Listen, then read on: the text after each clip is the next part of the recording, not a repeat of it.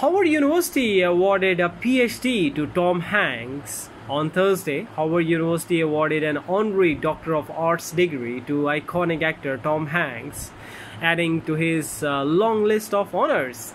Harvard University President Lawrence uh, Bacow uh, introduced Hanks by some of his most memorable roles, calling him Wilson's bestie, Buzz's buddy, uh, Ryan's savior, and America's dad.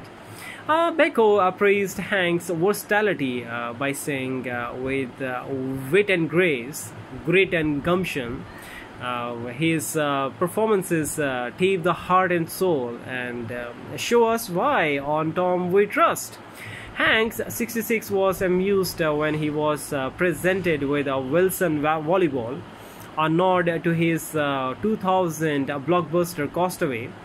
Uh, during his 30 minute victory speech, Hanks addressed uh, Prejeus, saying, uh, For what uh, are uh, we all but human?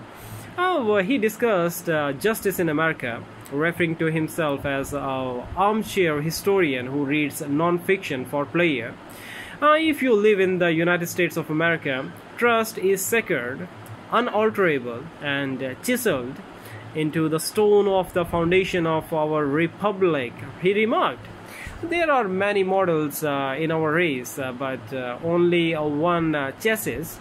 Uh, none of us are superhuman, but we are Americans, unusual in our uh, willingness to accept that uh, we are all but human uh, when it uh, comes to our race.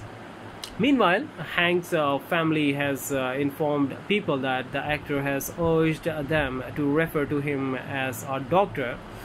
I am uh, I am calling him doctor, uh, even uh, if uh, it's only honorary. Truman adds.